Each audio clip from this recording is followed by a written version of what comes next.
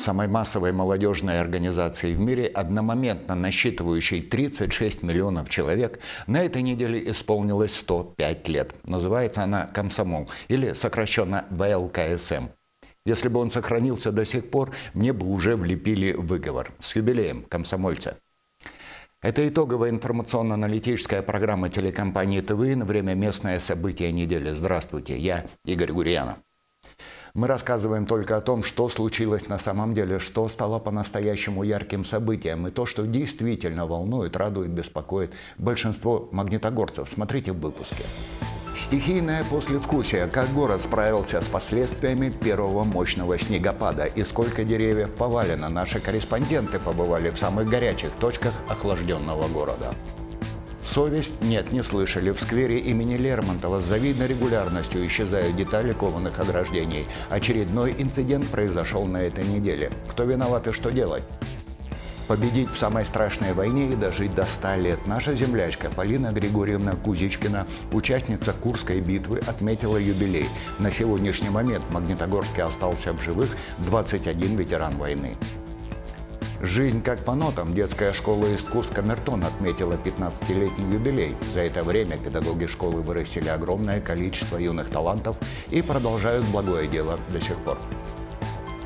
Будет что сказать. Руководитель компании «Евросервис» Евгений Могулевцев получил приглашение выступить с докладом на пленарном заседании международной выставки «Некрополь-2023».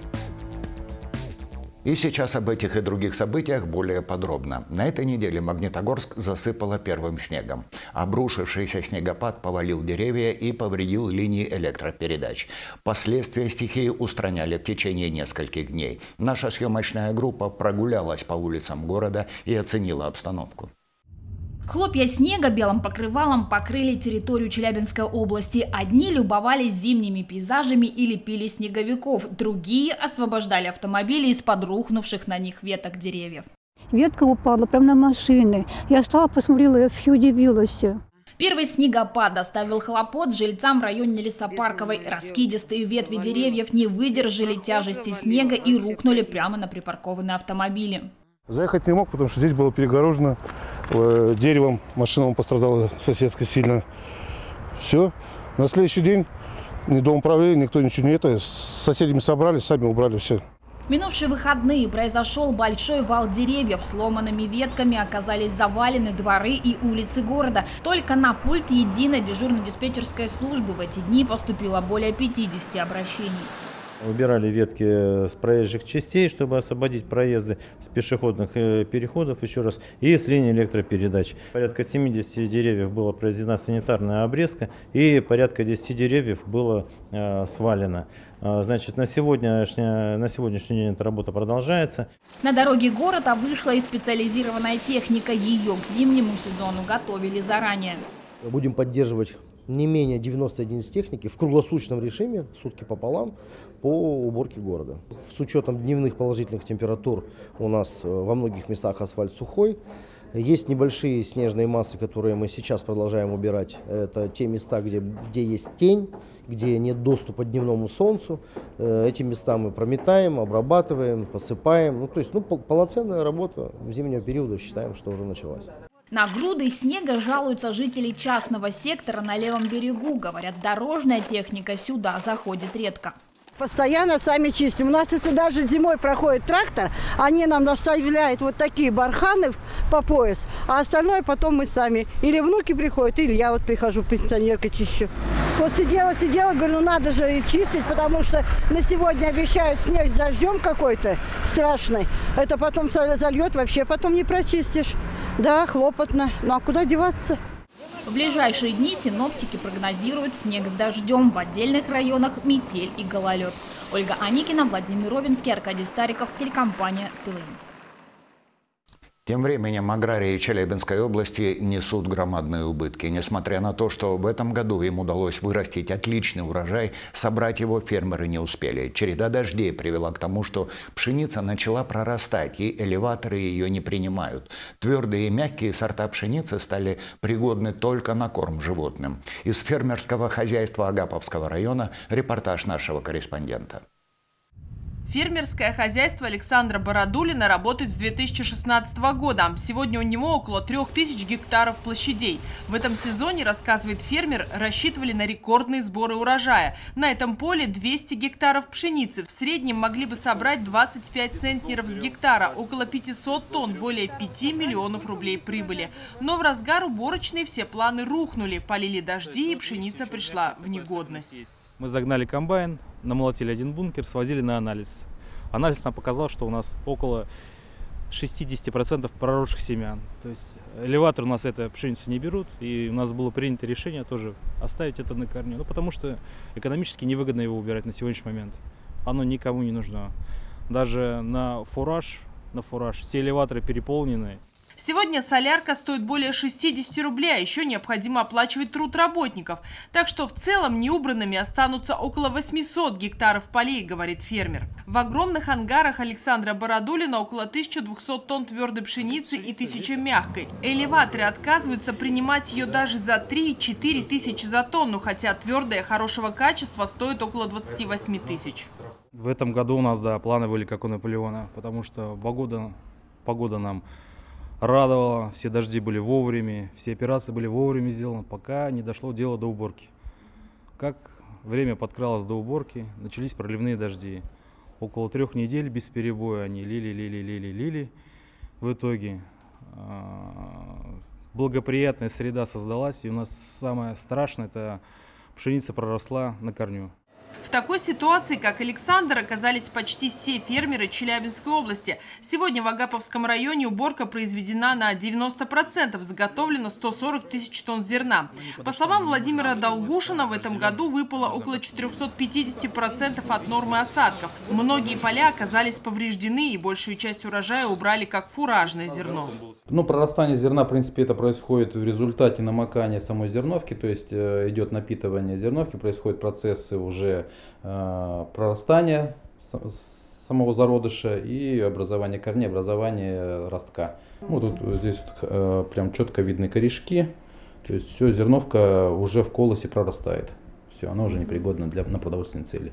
В связи с сильным переувлажнением почвы и большой влажностью воздуха в районе был введен режим ЧС. Часть э, зерна у фермеров лежит на элеваторах, часть лежит у себя в хранилищах. Конечно, они будут ждать и цены, будут ждать и э, способов реализации зерна. Вот, но пока ждем, э, так скажем, зерновой интервенции. То есть, если государство будет закупать, ну, так скажем, собственность государству, ждем, может быть, возможно, и это. Сегодня аграрии очень рассчитывают на поддержку государства и считают недопустимым со стороны властей бросить их в беде. Ведь подобная ситуация сложилась не только в нашем регионе, но и во многих фермерских хозяйствах Урала. Зерно не принимают, прибыли нет, одни убытки. К примеру, фермерское хозяйство Александра Бородулина за сезон заработало не 35 миллионов, как планировалось, а только 11. И сейчас вместо того, чтобы подсчитывать прибыль, аграриям приходится ломать голову, где взять деньги, чтобы рассчитаться с кредитами и заплатить работникам. Как считают сами селяне, в этой ситуации дожить до следующей посевной смогут далеко не все фермерские хозяйства.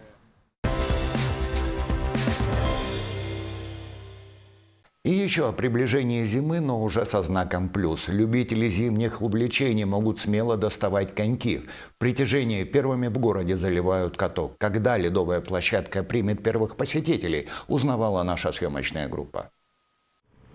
Заливка катка идет полным ходом. К работе приступили неделю назад. Наращивать лед при плюсовых температурах позволяет уникальная технология. В основании бетонного поля уложены гибкие трубки, так называемые айсматы. Их заливают водой, которая при взаимодействии превращается в ледовую поверхность. Воду замораживают специальные холодильные машины. Их на катке три. Все на самом деле очень просто.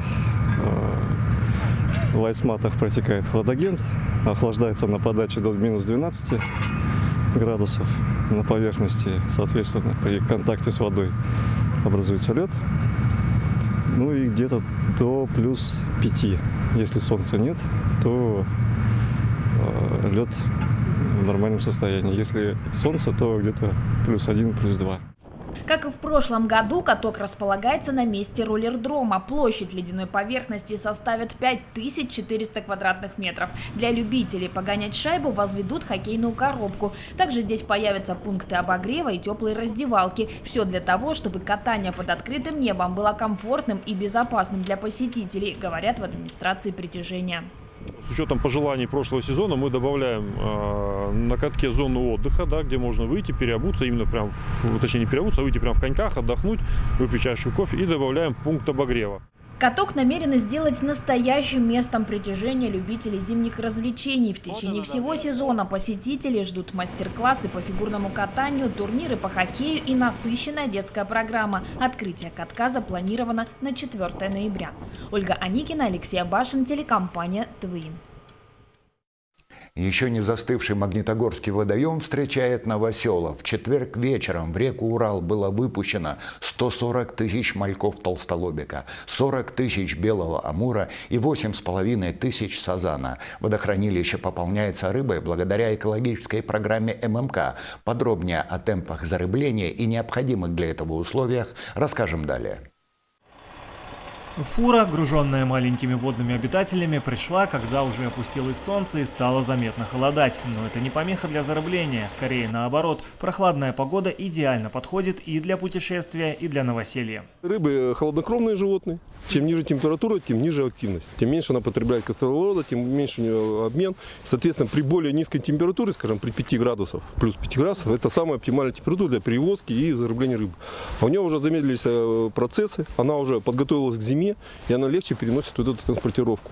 При зарыблении важно учесть еще ряд факторов. Температура воды, в которой везли мальков, и место нового обитания должна отличаться не более чем на 2 градуса. Аналогичным должен быть и химический состав. Чтобы выровнять показатели, сначала делается так называемая проливка. Проливается уральской нашей водой.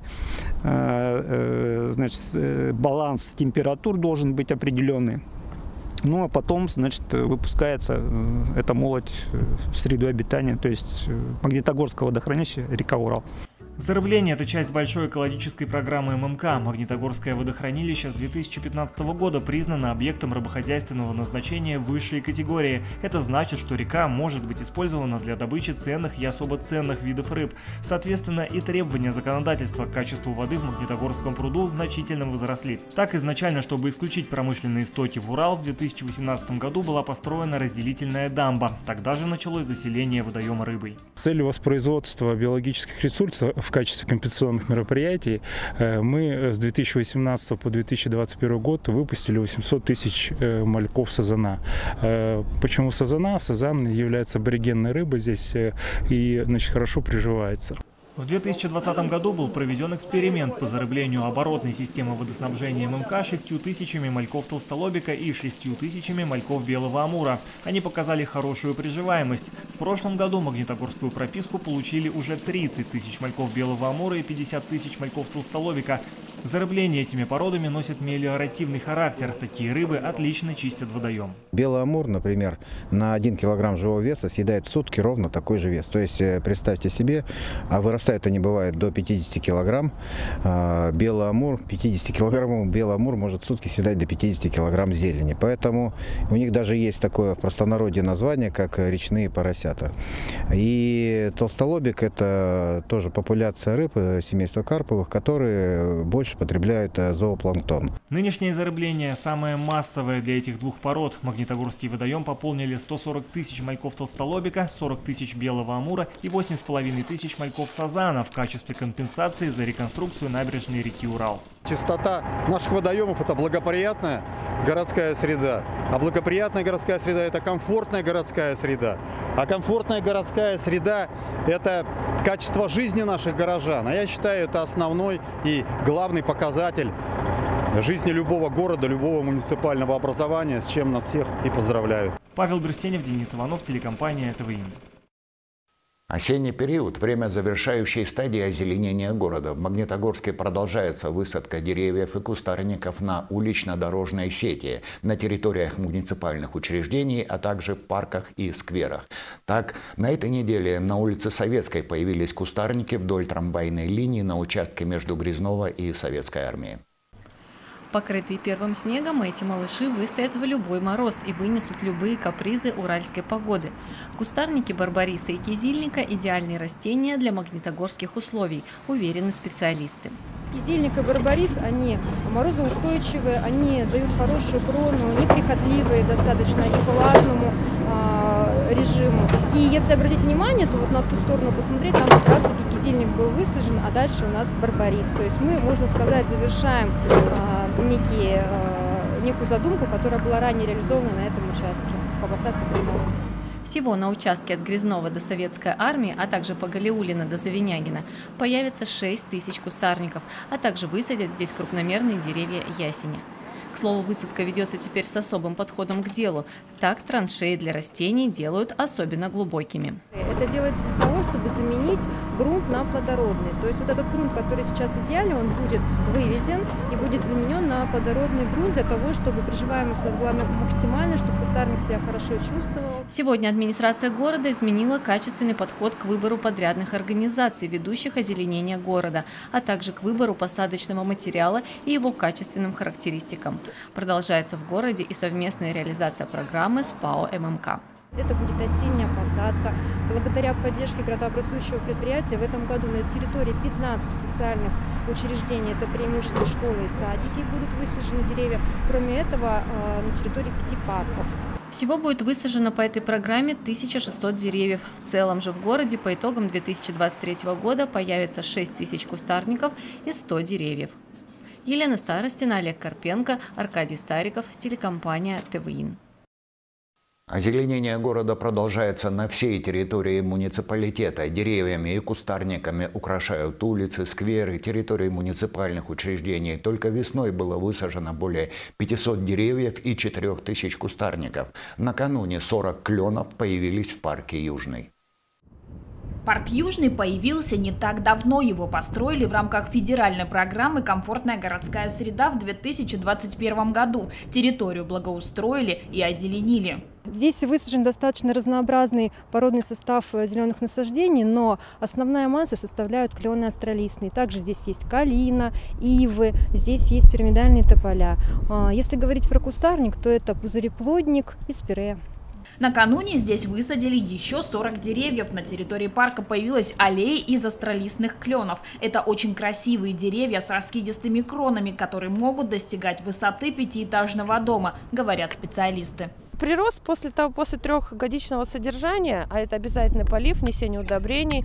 И за последние годы мы начали вносить очень много в пристволовые круги э, опилки или щепа у нас идет для сохранения влажности. То есть три года идет полноценное развитие саженца, приживание, а затем он дает, ну, смотря в каких условиях, если ему все комфортно и хорошо, ну, 30-50 сантиметров в год. Впрочем, деревья высаживают не только в парках. По озеленению в городе проводятся масштабные работы. Только в весенний период на городских территориях было высажено более 500 деревьев и 4000 кустарников. В мероприятиях по озеленению активно участвуют организации и предприятия. Так в городе реализуется масштабная программа по УММК, в рамках которой запланировано высадить 10 тысяч деревьев.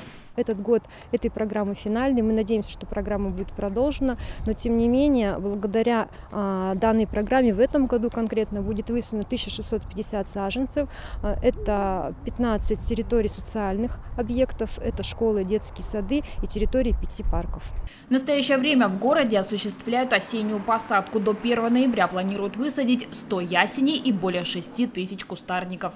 Ольга Аникина, Владимир Ровинский, телекомпания ТВИН. Вот в сквере имени Михаила Лермонтова на этой неделе произошла скверная история. Детали кованого ограждения здесь исчезают бесследно на протяжении длительного времени, а некоторые секции забора разрушаются прямо на глазах. Кто несет ответственность за красоту в одном из красивых парков Ленинского района, узнавала наша съемочная группа. Сквер имени Лермонтова – излюбленное место отдыха жителей Ленинского района. Однако не все горожане ценят уют и красоту. Так, буквально с самого момента реконструкции парка здесь и началась эта скверная история. Детали кованого ограждения вдруг стали бесследно исчезать.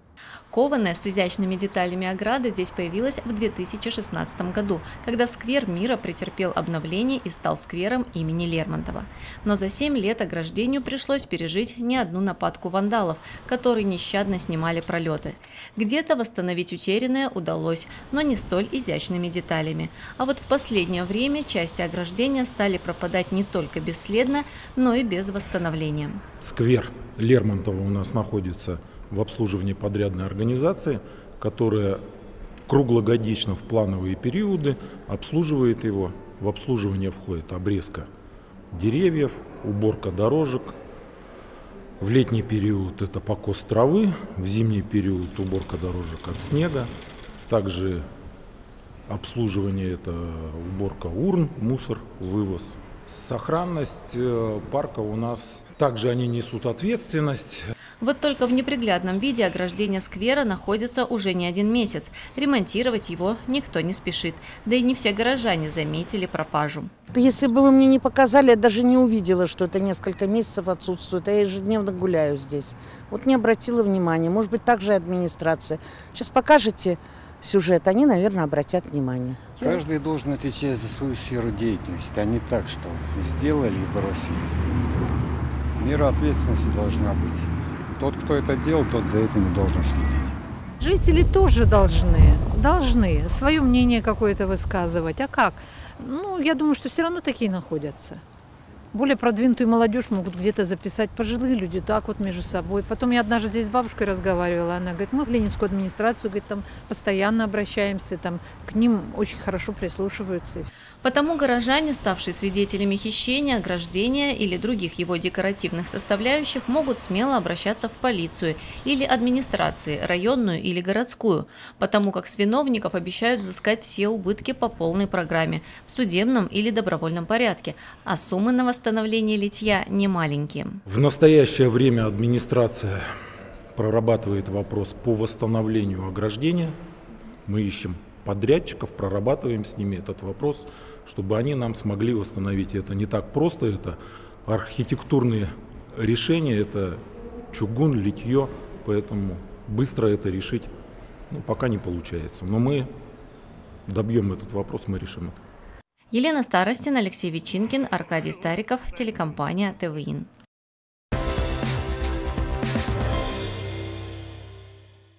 Целый блок репортажей в нашем обзоре будет посвящен патриотизму. Такое время. Столетний юбилей участницы Великой Отечественной войны Полины Григорьевны Кузичкиной с особой силой заострил проблему, над которой люди не властны. Уход живых свидетелей великого подвига в ряды бессмертного полка. В Магнитогорске на сегодняшний момент 21 ветеран Великой Отечественной. В округе депутата городского собрания Алексея Качемова Полина Григорьевна осталась одна тем ценнее внимание и теплые слова поздравлений.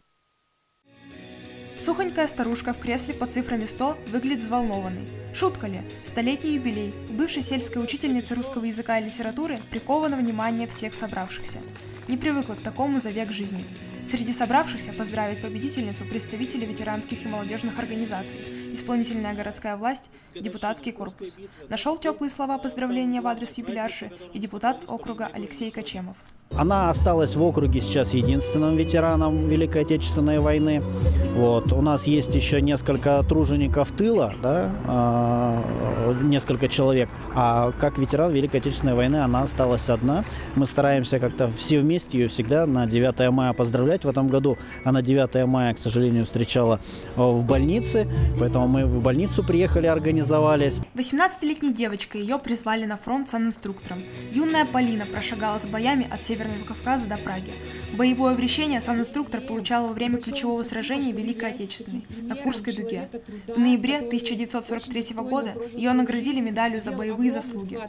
После войны Полина Григорьевна окончила учительские курсы и всю последующую жизнь посвятила самой мирной профессии – учителя русского языка и литературы в сельской школе. Говорят, ее ученики всегда с уважением относились к своему педагогу, зная, что перед ними ветеран Великой Отечественной войны. Стараемся поддерживать, потому что я уже сказал, что она сейчас э, такой символ города, символ победы. Таких людей осталось очень мало, и очень здорово, что они у нас есть, и к ним можно всегда обратиться. Юноармейцы порадовали Полину Григорьевну песнями военных лет и соблюдением по-настоящему солдатской дисциплины. А в перерывах между концертными номерами среди участников торжества то и дело звучала фраза о том, что такие мероприятия как нельзя лучше обеспечивают ту самую преемственность поколений, без которого, как известно, невозможно движение вперед. Арина Тюрина, Игорь Гурянов, Александр Макаров, телекомпания ТВИН. На этой неделе в Магнитогорске продолжился набор на военную службу по контракту. Какие требования предъявляют кандидатам, какое денежное довольствие и социальные льготы им положены. Об этом журналистам рассказали в военном комиссариате города. Здравствуйте. Хотелось подписать контракт на СВО. Максиму 21 год. В свое время он служил в мотострелковых войсках. Потом заключил контракт, попал в зону проведения СВО. Спустя несколько месяцев вернулся домой. И вот теперь снова пошел на фронт. Настрой, говорит, боевой. Сугубо лично мое решение ехать. Потому что как бы мужское не позволяет здесь сидеть пока там пацаны. Алексею 39. Он тоже отправился в зону проведения СВО во второй раз. Около года назад во время выполнения поставленных задач он получил осколочное ранение, восстановился и теперь снова готов идти в бой. Дома Алексея ждут трое детей и супруга. Теперь официально. Накануне оформления контракта пара расписалась. Решение давно назревало. Хотелось помочь ребятам. В военном комиссариате продолжают принимать кандидатов на военную службу, однако не все из них подлежат призыву. Кандидатам предъявляют ряд требований, он должен быть не младше 18 лет и иметь хорошее здоровье. Контракт мы сейчас заключаем на один год. А, при заключении контракта выплачивается вы, выплачиваются подъемные от президента 198 тысяч, от губернатора 75 тысяч. А, губернатор выплачивает также единовременное пособие на детей до 18 лет по 20 тысяч на каждого ребенка. Зарплата контрактника на территории Украины от 204 тысяч.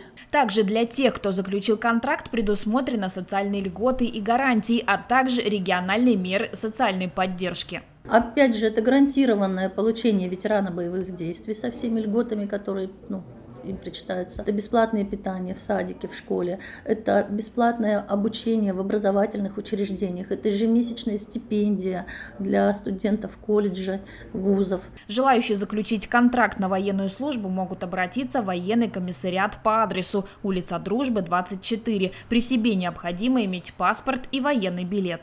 Ольга Аникина, Алексей Абашин, телекомпания ТВИН был отмечен за высокие профессиональные качества. Командир отделения пожарной части номер 27 договорного отряда Федеральной противопожарной службы ГПС Олег Иваницкий стал победителем смотра конкурса «Лучший работник договорных подразделений», который состоялся в рамках 15-го Всероссийского фестиваля «Созвездие мужества». О составляющих успеха, мужестве и чести расскажем в нашем следующем сюжете.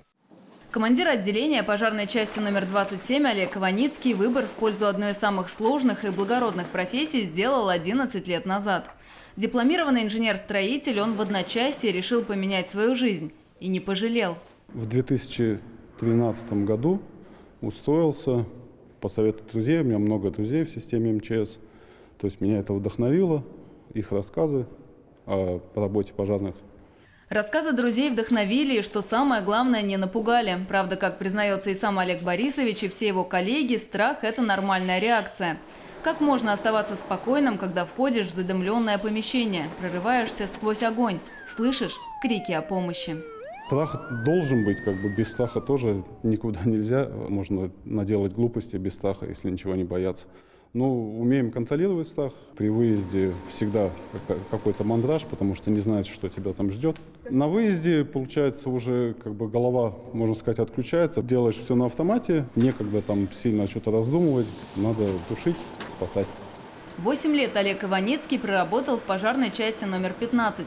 В 2020 году его пригласили в 27-ю, которую ввели в строй одновременно с запуском одного из самых амбициозных инвестиционных проектов ПАО ММК «Аглофабрики номер 5». Депо, кстати, обслуживает не только территорию фабрики, но и несколько близлежащих цехов, а также при необходимости бригады принимают участие в тушении пожаров в левобережной части города.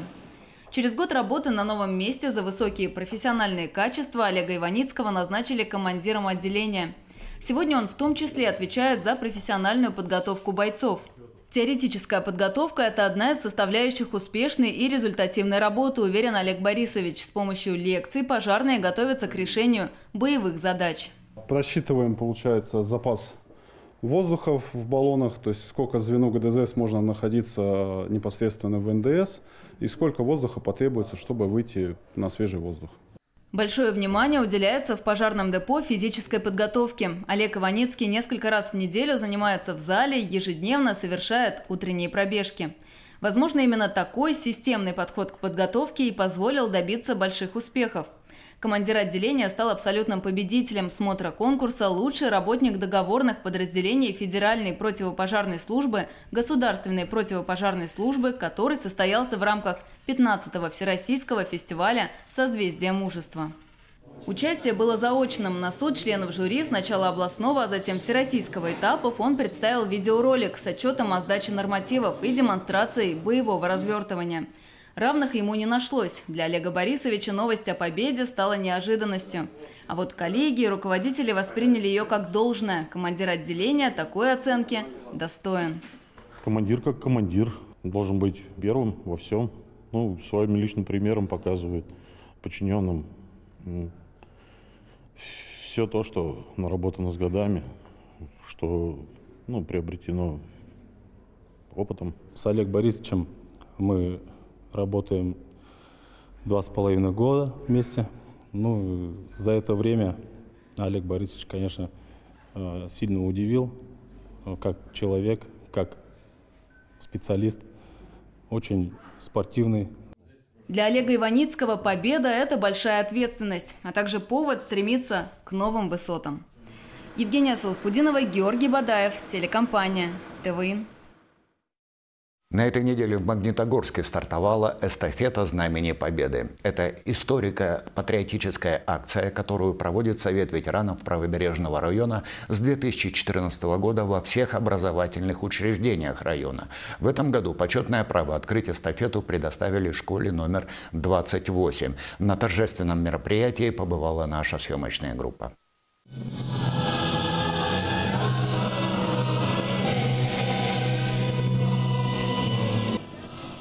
Гимн России открывает праздничное мероприятие. На сцену торжественно выносят копию Знамени Победы, которое бойцы 150-й стрелковой дивизии в 1945 году водрузили на купол Рейстага в Берлине. Минутой молчания почтили память тех, кто погиб, сражаясь за Родину. Мы открываем очередной этап эстафеты Знамени Победы под девизом «Поклонимся великим тем годам». Почетное право правобережный совет ветеранов предоставляет вашей школе. Мы уверены, что в дни нахождения у вас копии знаний победы будут наполнены содержательными и интересными. Копию Знамени Победы эту нам вручил областной совет ветеранов за такие патриотические мероприятия, которые у нас прошли по всем учебным заведениям. Это школы, лицеи, школы, интернаты.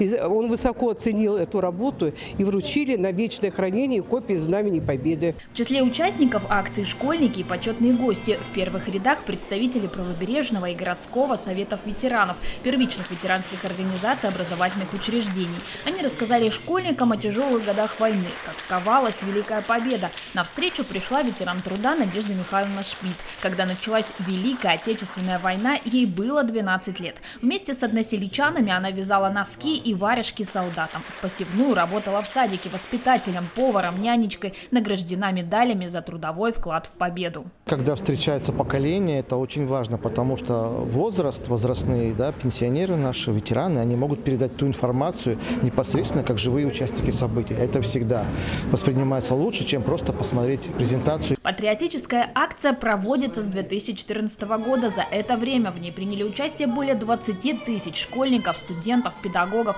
Каждый этап передачи знамени – особенное событие. В торжественной обстановке проводят встречи поколений и праздничные концерты. Выступления подготовили и ученики 28-й школы. И в каждом звучала тема о любви к своей родине. Россия, Россия.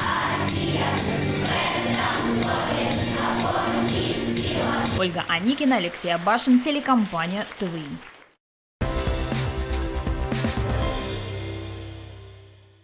Промплощадка в событиях. Человек дела, сменный мастер цеха водоснабжения Андрей Вавилов был признан лучшим в своей профессии по итогам традиционных профсоревнований. 23 года он отдал производству, прошел путь от электромонтера до руководителя.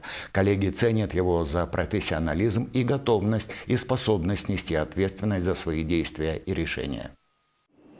Среди основных обязанностей сменного мастера цеха водоснабжения Андрея Вавилова участие во всех технологических переключениях на сетях, на насосных станциях, контроль за режимами работы оборудования. Ответственная должность требует полного погружения в процесс. Ну, когда приходим на смену, выполняем задания оперативные, которые остаются. Также устраняем аварийные ситуации, оперативные переключения, отключение, включение водоводов на порожнение насосных агрегатов. Бесперебойная подача воды во все цеха а, комбината является нашей задачей основной. В качестве сменного мастера Андрей Александрович трудится на участке с 2016 года. На комбинат же пришел 23 года назад, в 2000-м. Прошел все ступени карьерной лестницы. Сначала работал электромонтером, потом диспетчером, монтажником, электриком и на данный момент сменным мастером. Оперативно-производственный участок, на котором трудится Андрей Вавилов, является одним из основных в цехе водоснабжения.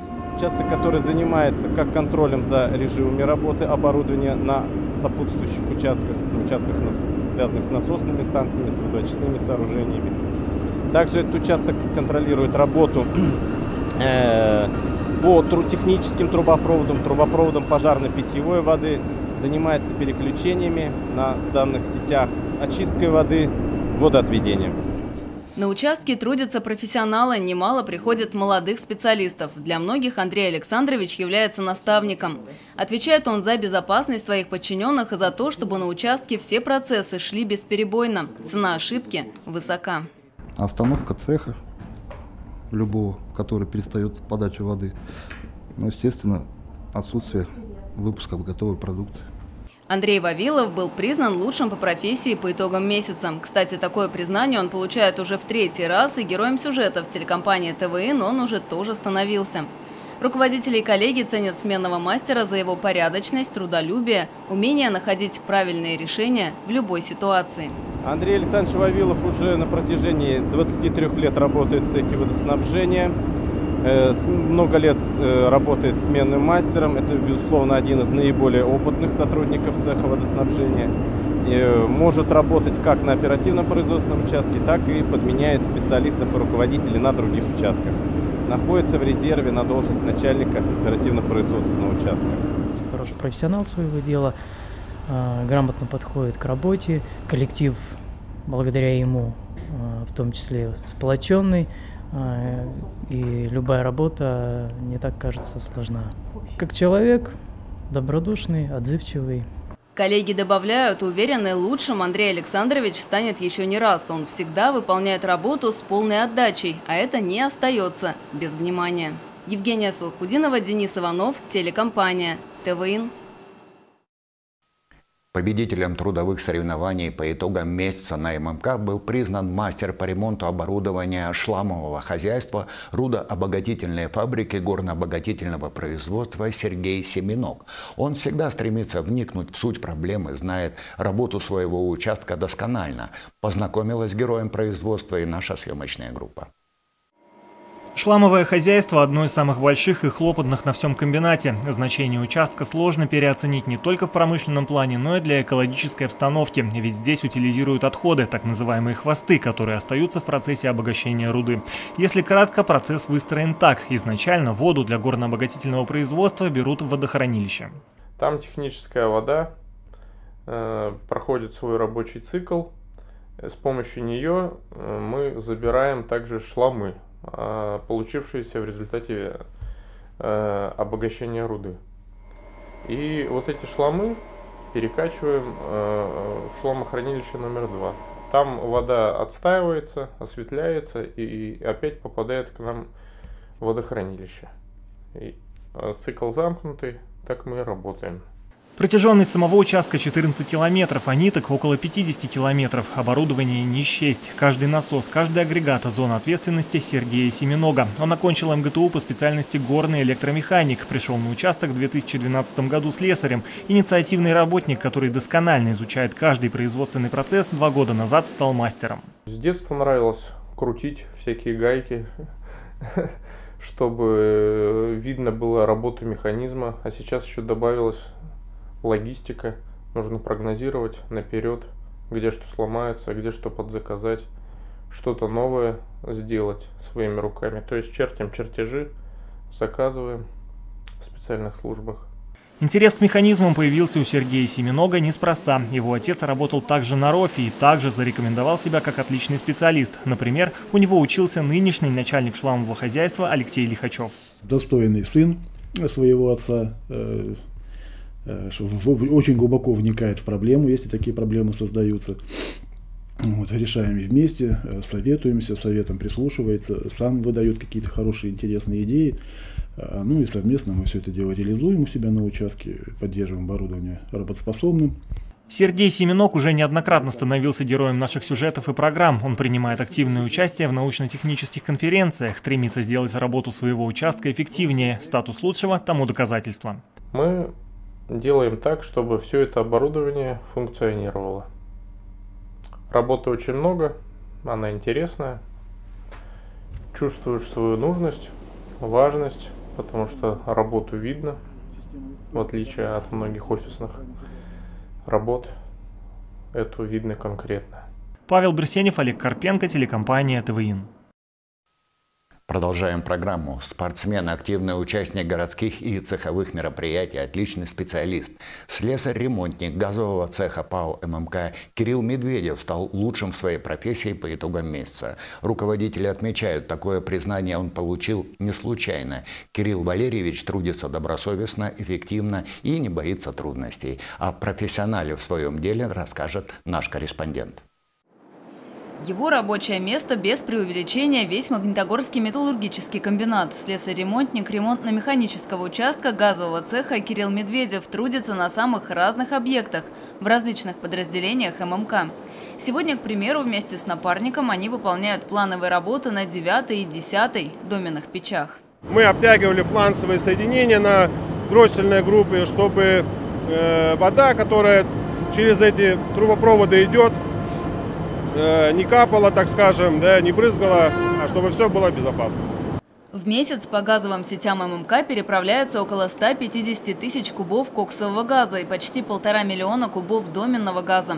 Эти отходы производства являются энергетическим ресурсом, который в дальнейшем активно используют в различных цехах.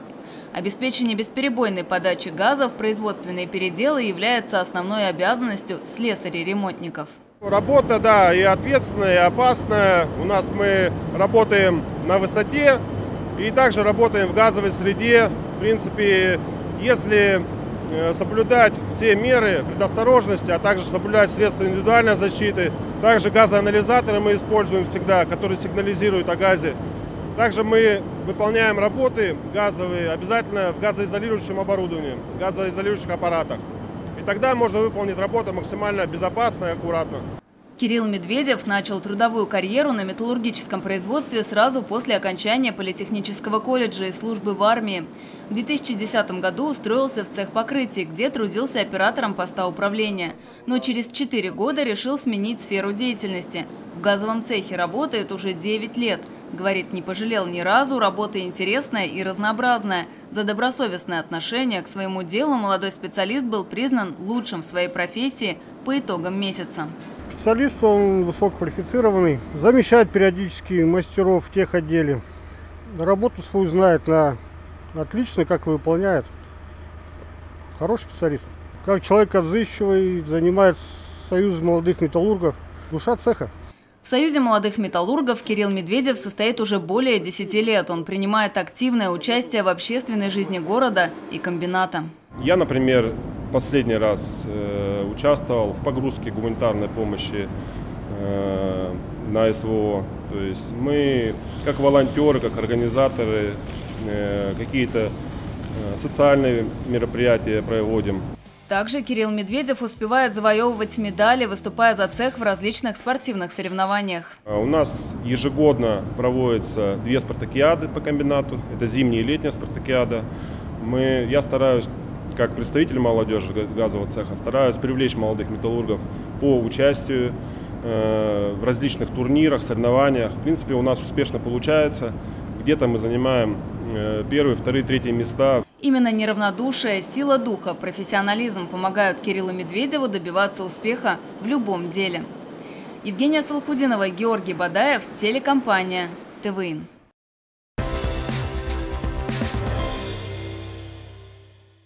Культура в событиях. Жизнь как по нотам. Детская школа искусств «Камертон» отметила 15-летний юбилей. За это время педагоги школы вырастили огромное количество победителей конкурсов самых различных уровней, воспитали и развили сотни талантов. Сегодня многие выпускники «Камертона» успешно продолжают дело своих учителей. Со знаковой датой школу искусств поздравили первые лица города и Магнитогорского металлургического комбината. В стенах школы искусств Камертон музыка звучит всегда, но сегодня она по-особенному мелодична и празднична. Учреждение принимает гостей по случаю 15-летнего юбилея.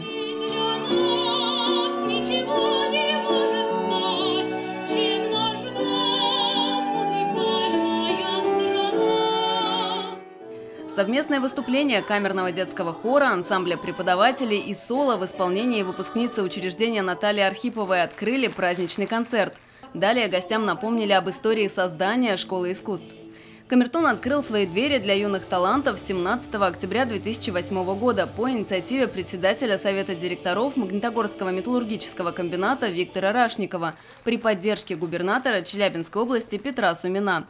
Сегодня это самое молодое учреждение дополнительного образования детей среди музыкальных школ и школ искусств города. И одновременно одно из самых успешных. В 2018 году Камертон вошел в топ-50 лучших детских школ искусств России. В 2022 году стал победителем Всероссийской национальной премии «Лучшее образовательное учреждение России». Нашему учреждению 15 лет – да, возраст небольшой, мы еще молоды, мы в расцвете сил, но за плечами у нас очень-очень много побед. Мы действительно одно из лучших учреждений в области, передовое учреждение, учреждение, которое работает на благо нашего города. Мы сотрудничаем с предприятиями металлургического комбината, мы сотрудничаем с учреждениями города, с образованием, со спортом, с культурой, со всеми учреждениями. Сегодня в стенах учреждения постигают азы нотной грамоты и сольфеджио и осваивают виртуозную игру на музыкальных инструментах более 600 детей. Отдельный повод для гордости – педагоги. Талантливые, чуткие, они всегда открыты новым знаниям и щедро делятся опытом с учениками. Стаж работы в учреждении многих из них равен возрасту самой школы искусств. Заведующая фортепианным отделением Елена Федюкова трудится здесь со дня открытия. Для меня это не работа, для меня это вся моя жизнь. Ребята замечательные, все хотят быть знаменитыми, все хотят быть узнаваемыми, все хотят научиться. Самый главный принцип – это любовь к детям. Они все для меня дети мои, родные, любимые. У нас индивидуальное занятие, поэтому у нас очень такое теплое, тесное общение. И не только музыки, но и по жизни тоже. Со сцены учреждения поздравили первые лица города и Магнитогорского металлургического комбината. Пожелали счастья, развития, процветания. Коллективу, работающему здесь, хочется, конечно, пожелать, наверное, поддерживать то, что было начато тогда, 15 лет назад – Наверное, нужно работать для того, чтобы это все здесь стало еще лучше. Мне хочется, чтобы вы помогали талантливым нашим людям. А у нас их, к счастью, в России очень много. Мы гордимся нашими детьми. За 15 лет сотни мальчишек и девчонок приобщились к высокому искусству. Это и десятки выигранных конкурсов, международных, российских.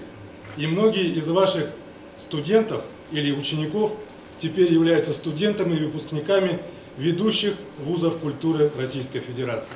Гости пришли не без подарков. ПАО ММК совместно с благотворительным фондом «Металлург» и депутатом городского собрания Павлом Бовшиком преподнесли учреждению видеокамеру, чтобы каждый из ярких моментов жизни школы искусств был запечатлен. Подарена техника была еще накануне и уже находится в работе. От предприятия «Огнеупор» своих давних друзей школа получила мультимедийный музыкальный центр. А глава города Сергей Берников принял решение в этом году оборудовать сцену учреждения новым звуковым и световым оборудованием. А это значит, что все мероприятия в стенах школы искусств «Камертон», в том числе совместные с городом и комбинатом, совсем скоро обретут новое звучание и качество. Нашей школе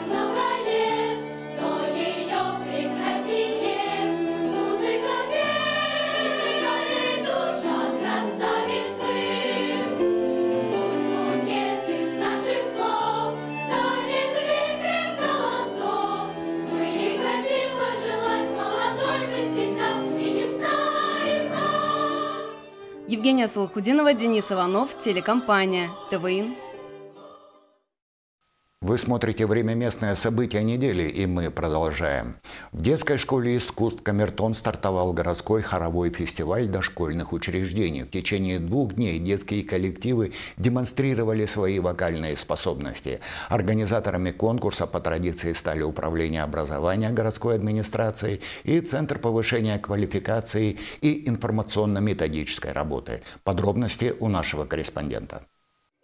Этот детский хоровой фестиваль проводится с 2016 года. С каждым разом заявляется все больше участников. В этом году на суд жюри конкурсанты должны были представить две песни. Одна на выбор, другая посвященная году наставничества. Коллективы проявляли свои творческие способности в двух номинациях. Детский хор, где задействовано от 12 человек и больше, а также вокальный ансамбль от 3 до 12 ребят. Пение играет очень большую роль в жизни человека.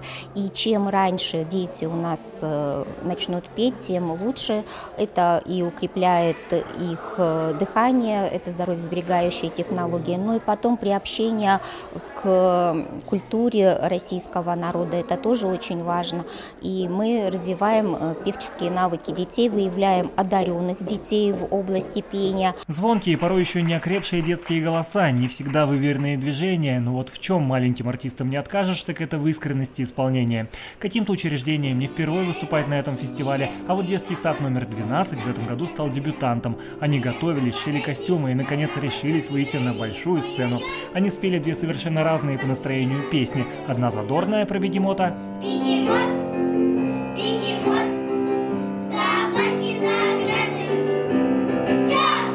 Другая про добрую фею, которая на самом деле является любимой воспитательницей. Все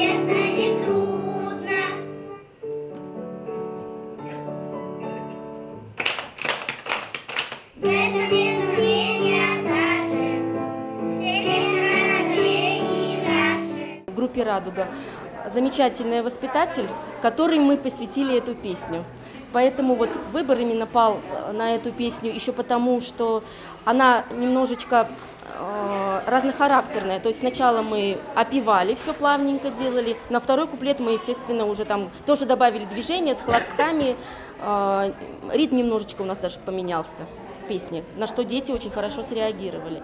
А в песне «Бегемот» это у нас шутливая, веселая песня. Ну, мы хотели всех порадовать, зажечь своей энергией, чтобы у всех было хорошее настроение. Чтобы оценить все детские коллективы, организаторам понадобится два дня. Фестиваль продолжится в четверг, 26 октября, после чего в каждой из двух номинаций будут выявлены победители. Павел Берсенев, Виктор Исаев, телекомпания ТВИН. Руководитель компании «Евросервис» Евгений Могулевцев получил приглашение выступить на пленарном заседании международной выставки «Некрополь-2023». Это ежегодное мероприятие, которое проводится на ВДНХ и собирает специалистов со всей страны, чтобы те поделились инновациями, обсудили новости законодательства, пообщались на актуальные для отрасли темы. Приглашение выступить на Некрополе 2023 для Евгения Могулевцева не было неожиданностью. Руководитель Евросервиса уже давно снискал себе славу одного из самых опытных руководителей первичного звена в ритуальной отрасли. В свое время большой резонанс у профессионалов получила его инициатива по проведению в Магнитогорске первыми в стране инвентаризации городских погостов. Ее итоги были темой доклада на выставке и вызвали буквально шквал откликов и обсуждений. Опыт проведения громадной учетной работы уже применяется в целом ряде городов Урала, планируется, что он будет с учетом реалий современности распространен на кладбища всей страны, как говорится, в полном соответствии с пожеланиями президента.